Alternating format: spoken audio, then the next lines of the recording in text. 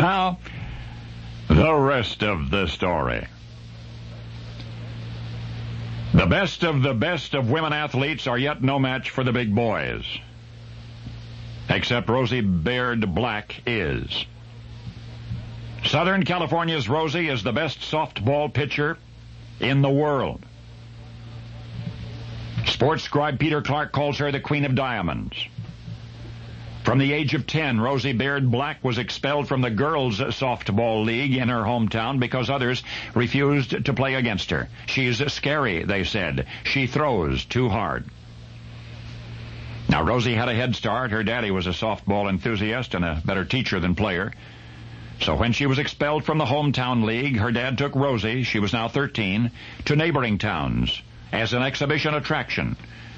And she would take along her brother Marvin to play catcher, her sister Eileen to play first base, and a friend to play shortstop, and so good was Rosie, both pitching and batting, that, listen to this, four players was all her team needed to beat opposing teams with a full complement of nine players.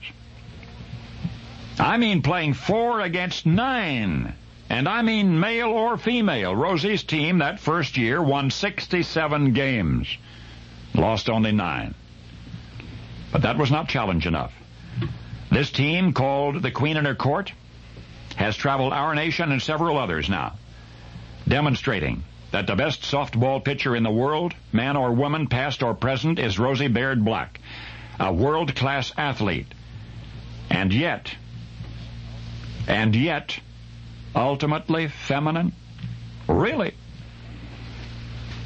With her dazzling assortment of 16 pitches, she has beat the best of the best of our nation's men's softball teams. She throws a rising fastball, four varieties of changeups, a sinking curve, a knuckleball, a screwball, a drop, and numerous other pitches that dip and bend and seem to have a mind of their own. She pitched to and struck out superstars of Major League Baseball, Willie Mays, Johnny Bench, Harmon Killebrew. In Panama, she drew a crowd of 18,000. In Japan, she pitched against that country's best baseball hitters, and they went down one, two, three, sayonara.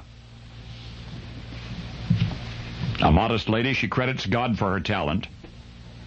In two decades of pitching softball, Rosie has 1,108 shutouts and 483 perfect games, and she's getting better every year.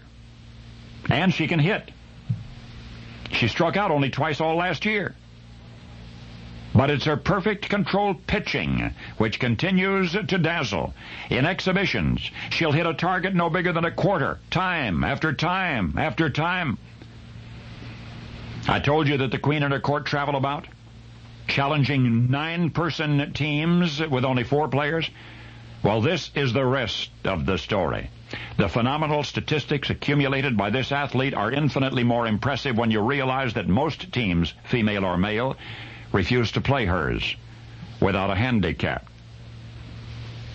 They demand a handicap. That means that she's faced many of those 51,286 batters while pitching not from the pitcher's mound, but from double that distance, pitching from second base, and while standing on her knees. And now you know the rest of the story.